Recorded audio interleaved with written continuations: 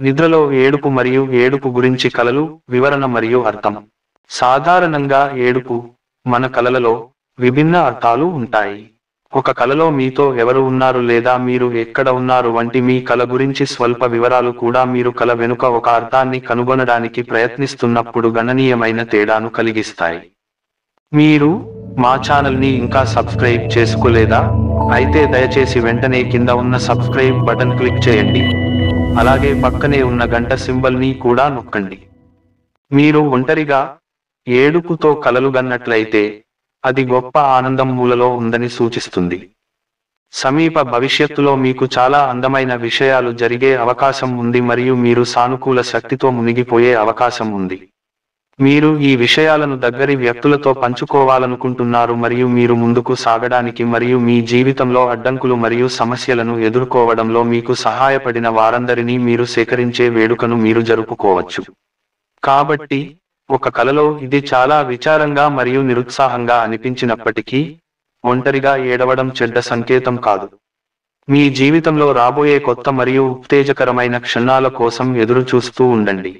మీరు ఉత్సాహంగా లేదా సంతోషంగా ఉన్నందున ఏడుపు గురించి కలలు కంటున్నది కూడా మంచి సంకేతం మరియు ఇది మీ వైపు వస్తున్న గొప్ప ఆనందం మరియు సానుకూలతను సూచిస్తుంది. ఈ కాలాన్ని ఆలింగనం చేసుకోండి మరియు అది ఉన్నంత వరకు సద్వినియోగం చేసుకోండి. మీ తల్లి ఏడుస్తున్నట్లు కలలు కంటే ఈ కళ చాలా ప్రతికూల అర్థాన్ని కలిగి ఉంది. ఇది మీ జీవితంలో చాలా దుఃఖం మరియు విషాదాన్ని తీసుకువచ్చే ఒక ముదురు కాలాన్ని సూచిస్తుంది. బహుశా మీ వ్యాపార ప్రణాళికలు విఫలం కావచ్చు లేదా మీకు ప్రియమైన ఎవరైనా అకస్మాత్తుగా చనిపోవచ్చు.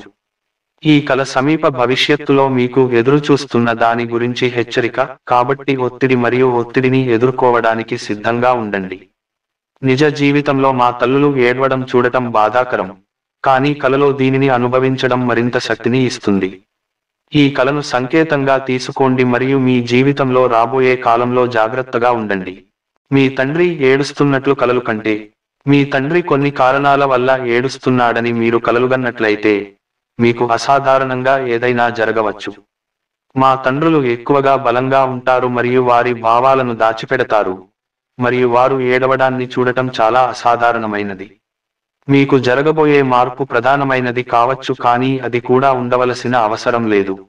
ఇది మీ ప్రస్తుత జీవిత పరిస్థితి మరియు మీ వైఖరిపై ఆధారపడి ఉంటుంది. ఏది జరిగినా దాని నుండి నేర్చుకోవడానికి మరియు ప్రతి పరిస్థితిలో ప్రకాశవంతమైన వైపు చూడటానికి నిర్ధారించుకోండి. ఉన్మాదంగా ఏడుపు గురించి కల. ఉన్మాదంగా ఏడుపు గురించి కల మరొక ప్రతికూల సంకేతం. మీరు కొనసాగడానికి కొన్ని అంచివేయబడిన భావాలు మరియు భావోద్వేగాలను కలిగి ఉన్నారని దీని అర్థం. బహుశా మీరు మీ పాత భాగస్వామి గురించి ఆలోచిస్తూ ఉండవచ్చు లేదా మీ జీవితంలో ఇతర వ్యక్తులతో మీకు కొన్ని అపరిష్కృత సమస్యలు ఉండవచ్చు. మీకు ఈ కళ ఉంటే ఆ సమస్యలను మరింత అన్వేషించడానికి మరియు వాటి గురించి మీరు ఏమి చేయగలరో తెలుసుకోవడానికి ప్రయత్నించాల్సిన సమయం వచ్చింది. జీవితంలో ముందుకు సాగడానికి గతంలోని విషయాలను పూర్తి చేయడం చాలా ముఖ్యం. ఎవరితోనైనా ఏడుపు గురించి కలలు కంటే అదే సమయంలో మీరు ఎవరితోనైనా ఏడుస్తున్నట్లుగా మీకు కల ఉంటే దీని అర్థం మీరు త్వరలో ఏదో ఒక వేడుకను జరుపుకోవడానికి ఒక కారణం ఉంటుంది. బహుశా మీ నిశ్చితార్థం దగ్గరగా ఉండవచ్చు లేదా బేబీ షవర్ ఉండవచ్చు. ఏదేమైనా మీకు ఏది వచ్చినా జరుపుకోవడానికి మీరు చాలా సంతోషంగా మరియు చాలా ఉత్సాహంగా ఉంటారు. మీ జీవితంలో అత్యుత్తమ సమయాన్ని కలిగి ఉండేలా చూసుకోండి మరియు ఈ క్షణాలను ఆస్వాదించండి.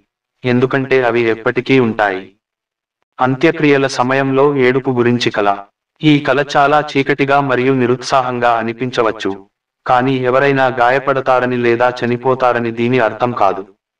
వాస్తవానికి ఈ కలకి సానుకూల అర్థం ఉంది. మీరు మీ బాస్ నుండి ప్రమోషన్ అందుకుంటారు లేదా మీకు చాలా లాభాలను తెచ్చే ఉత్తేజకరమైన వ్యాపార ఆలోచన మీకు రావచ్చు. ఏదేమైనా ఈ కలకి చాలా సానుకూల అర్థం ఉంది కాబట్టి మీరు దానిని అనుభవించినప్పుడు భయపడవద్దు. బిగ్గరగా ఏడుపు గురించి కలలు కంటే మీరు మీ స్వరం ఎగువన ఏడుస్తున్న ఒక కల ఉంటే దీని అర్థం మీరు త్వరలో సానుకూలమైన దాన్ని అనుభవించబోతున్నారు. బహుశా మీరు ప్రమోషన్ లేదా వ్యాపార అవకాశాన్ని మీరు కోల్పోలేరు. ఇది మీ శృంగార జీవితంతో కూడా ముడిపడి ఉంటుంది ఎందుకంటే చివరకు మీకు సరిపోయే మరియు మిమ్మల్ని సంతోషపెట్టే వ్యక్తిని మీరు కనుగొనవచ్చు. కాబట్టి కలలో మీరు ఎంత గట్టిగా ఏడుస్తారో నిజ జీవితంలో మీకు అంత అదృష్టం ఉంటుంది. ఏడుపు మరియు ఒకరిని కోల్పోవడం గురించి కలలు కంటే మీరు కలలో ఒకరిని కోల్పోతున్నట్లు మీకు అనిపిస్తే ఏదో ఒక కారణంగా మీరు త్వరలో విచారంగా మరియు నిరాశకు గురవుతారు. ఇది మీ వ్యాపారం లేదా వ్యక్తిగత జీవితానికి సంబంధించినది కావచ్చు కానీ ఏ సందర్భంలోనైనా మీరు ప్రశాంతంగా ఉండి చెడు విషయాలను మరచిపోవాలి. సానుకూలతపై దృష్టి పెట్టండి మరియు ప్రతికూలత నుండి ముందుకు సాగడానికి బలాన్ని సేకరించండి. అది మిమ్మల్ని పొందవచ్చు. ఏడుస్తున్న శిశువు గురించి కలలు కంటే ఏడుస్తున్న శిశువు గురించి కలలు కనండి. మీరు ధ్వనిని మాత్రమే విన్నారా లేదా శిశువు ఏడుపును చూసినా అది చెడ్డ సంకేతం. దీని అర్థం మీరు మీ ప్రైవేట్ మరియు వ్యాపార జీవితంలో కొన్ని సమస్యలను ఎదుర్కొంటారు. అది మీకు చాలా తలనొప్పిని కలిగిస్తుంది. ఇది సాధారణంగా జీవితంలో చెడ్డ శకునమే కాబట్టి మీకు ఈ కల వచ్చిన తర్వాత జాగ్రత్తగా ఉండండి. అతను ఒక హెచ్చరిక కావచ్చు మరియు మీరు నిర్దిష్ట వ్యక్తులతో మాట్లాడేటప్పుడు జాగ్రత్తగా ఉండాలి మరియు జీవితంలో మీ చర్యల గురించి జాగ్రత్తగా ఉండాలి. ఇతరులు ఏడుస్తున్నట్లు కలలు కంటే మీ కలలో ఇతరులు ఏడుస్తున్నట్లు చూడటం లేదా వినడం అంటే రాబోయే కాలంలో మీకు చాలా అదృష్టం ఉంటుంది. మీ వృత్తిపరమైన మరియు ప్రైవేట్ జీవితంలో పురోగతి సాధించడానికి ఈ కాలం సరైనది కాబట్టి మీరు ఈ కాలాన్ని తెలివిగా ఉపయోగించారని నిర్ధారించుకోండి. క్రొత్త సంబంధాన్ని ప్రారంభించడానికి లేదా గతం నుండి మీ వ్యాపార ప్రాజెక్టులను కొనసాగించడానికి ఇది సరైన సమయం ఎందుకంటే అవన్నీ విపరీతమైన విజయాన్ని సాధిస్తాయి.